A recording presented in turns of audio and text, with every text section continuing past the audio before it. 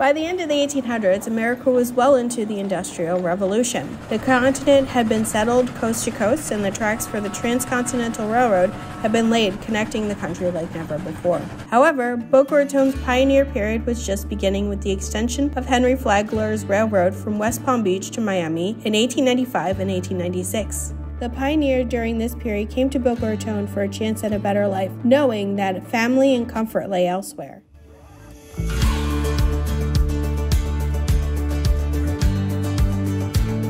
Today, we are going to talk about what life was like for pioneer women in Boca Raton.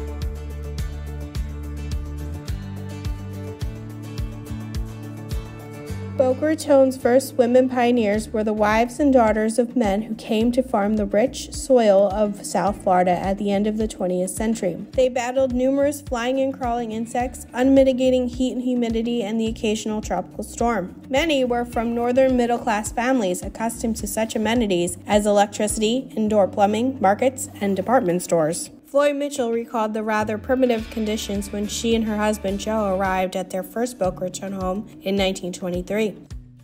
A two burner oil stove, small ice box, hand pump in the sink, and an oil lamp furnished the kitchen. A chick sale was in the backyard. We would have to take a bath in a zinc tub with water heated on the stove. Joe looked at me, and knowing we had left a home with indoor plumbing and all the modern conveniences of the time, said, are you sure you want to stay? I replied, Wild horses couldn't get me away from here. In some cases, when women came to Boca Raton, they had to abandon the cultural traditions they grew up with to start new ones. Seda Kawashima Sakai followed Jo Sakai to Florida after they were married in 1907. They formed the first of many families at Yamato. The change from traditional Japanese society was profound for many of the women, including Zeta. They went from a life of relative comfort to coping with the heat, bugs, and endless sunshine of the raw South Florida scrubland. They also abandoned the kimono and many of the old ways it represented. Florence Purdom came to Florida with her husband, Perry, in 1905 to help the Burt Rollersons family with their farm. Florence had 11 children and raised the surviving eight in a typical farmhouse with kerosene lamps and a pitcher pump in the yard. Perry did not allow Florence to work in the fields, but the older daughters, Eula and Viola, helped with the farm work as well as assisting their mother with the children and housework. Black pioneer women were employed as domestics, laundresses, and cooks for area residents and seasonal visitors. They played important roles in local religious and social activities, teaching Sunday school, organizing gatherings, and cooking for fundraisers. Pioneer Belle Demery came to the area in the 1910s with her husband to seek a new life. She found employment as a domestic and hand packing vegetables for the local farmers while raising her large family. Nettie Chesebro came to Boca Raton in 1903 with her husband, Frank, and their three children. A sewing machine, a washing machine, an organ, and a phonograph brought with them from Michigan helped ease a traumatic transition. Nettie worked side by side with her husband, grubbing, raking, and planting to make their large farm a success. She was later paralyzed, the result of lifting a heavy fertilizer sack. Pioneer life was in no way safe. Locals almost never sought out a doctor's care. Doctors were few, far away, and too expensive. They only visited the doctor if it was an absolute necessity. In cases where the doctor was judged to be an unnecessary expense, women acted as the primary healers. If you got sick, you turned to your wife, mom, aunt, grandma, sister, or neighbor. Diane Benedetto, nee Imogene Ellis Gates, was born in 1916 to Vermonters Harley and Harriet Gates. She recalls that for a cold or a sore throat, mother would mash up onions and kerosene into a cloth which was placed around the neck or on the chest. If you stepped on a nail or cut your foot, you would apply a poultice of salt port or bread and milk wrapped in a rag. Mud packs were the thing for bee stings or insect bites. Spider webs were also used to stop bleeding and keep wounds free from infection. Apparently, they are rich in vitamin K, which promotes clotting. Pioneer Louise Williams recalled her mother would collect palma Christi leaves to help bring down a fever.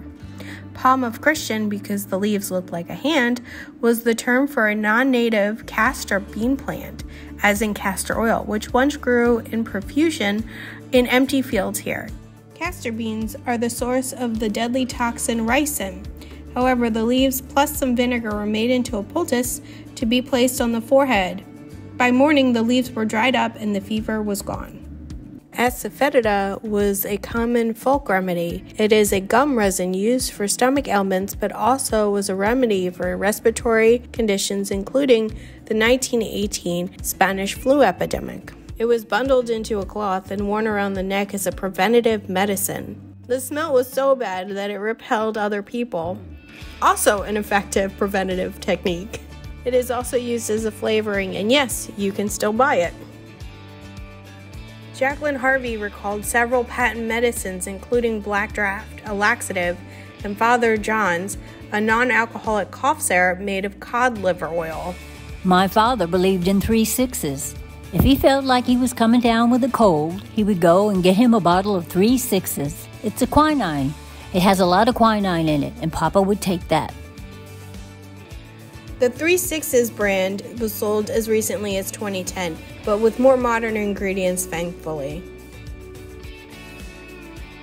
Life was not all work for women in Boca Raton's early days. Social gatherings were equally important to the survival of the young community, providing networking opportunities as well as rest and relaxation for women as well as the men traveling and going for picnics at the Hillsboro Lighthouse to take silly pictures and take in the view. Other activities that everyone participated in was fishing, fish fries, boating, and exploring. Women, as often as men, would explore the wilds surrounding Boca Raton, which was still very undeveloped.